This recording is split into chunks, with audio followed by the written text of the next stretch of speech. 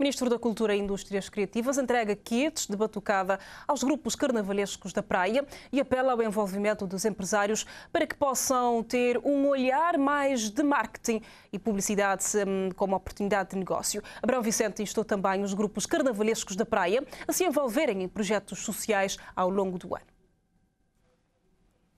Tamborins, caixas, surdos, repeniques, chocalhos, agogós e baquetas fazem parte dos kits de batucada que o Ministério da Cultura e Indústrias Criativas entregou esta tarde aos quatro grupos oficiais que vão desfilar no Carnaval 2023 na cidade da Praia.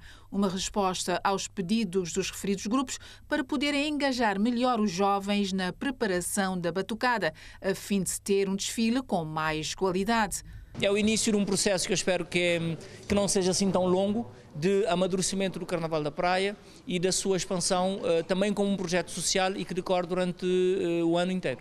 Estão os grupos a copiarem projetos sociais que, ligados ao Carnaval? Não, claro, porque normalmente o Carnaval é visto apenas como espetáculo do dia do Carnaval, uh, os corpos esbeltos, as cores e tudo isso. Mas o mais importante do Carnaval brasileiro, que, que, é, que é o Carnaval que nos inspira aqui em Cabo Verde, são os projetos sociais nos bairros, nas favelas, nas grandes cidades, mas também é a economia que o Carnaval uh, volta. Portanto... E porque o Carnaval é de todos, o governante apela ao envolvimento do setor privado para que passem a olhar para os grupos carnavalistas carnavalescos como uma oportunidade de marketing e de publicidade. Mas também de, eh, de dotarem eh, parte desses grupos com eh, apoios sociais para se fazer esse trabalho, essa preparação ao longo do ano. Existindo vontade, existindo disponibilidade das pessoas em participar no Carnaval, faz todo sentido que o Governo também apoie o Carnaval da, da cidade da Praia.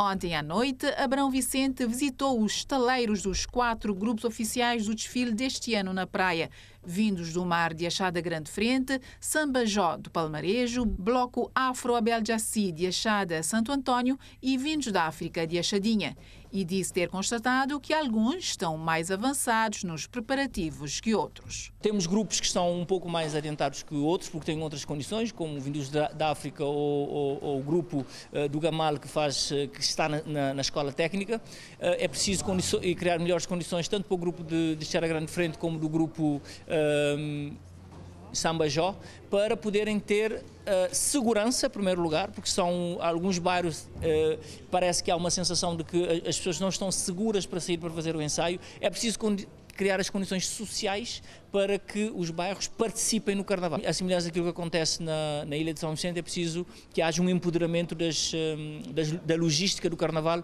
para que quando se chega ao mês de Fevereiro, de facto, o Carnaval tenha outra pujança e principalmente se possa dignificar as pessoas que fazem parte deste, deste folclore nacional.